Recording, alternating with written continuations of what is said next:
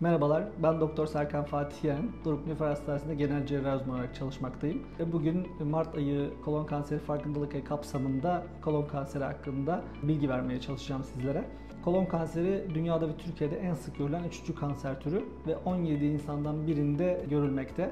Tarama programı demek hiçbir şikayetiniz yokken yapılan tetkikler demek aslında. Ve kolon kanseri kapsamında 50 yaşına gelen bir insanın mutlaka gaytada gizli kan yani büyük abdestte kan var mı testini yaptırması gerekiyor. Ve eğer varsa da daha sonra kolonoskopi ile yalın bağırsağın içerisinde bir yara, polip, kanser var mı araştırmak gerekiyor ileri tetkike geçmek gerekiyor yani.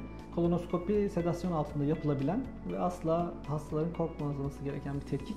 Peki e, nelere dikkat etmek lazım? Kolon uzun bir organ olduğu için kolonun sağ tarafında olan kanserlerle sol tarafında ve çıkış kısmında olan kanserler arasında şikayetler açısından farklılıklar var. Sağ tarafta daha çok kansızlığa bağlı halsizlik, yorgunluk ve karın ağrısı görülürken sol tarafta ve çıkış kısmında olan kanser türlerinde daha çok dışkılama alışkanlıklarında değişiklikler, ishal, kabızlık, ya da sık sık büyük abdeste çıkma gibi şikayetler olabiliyor.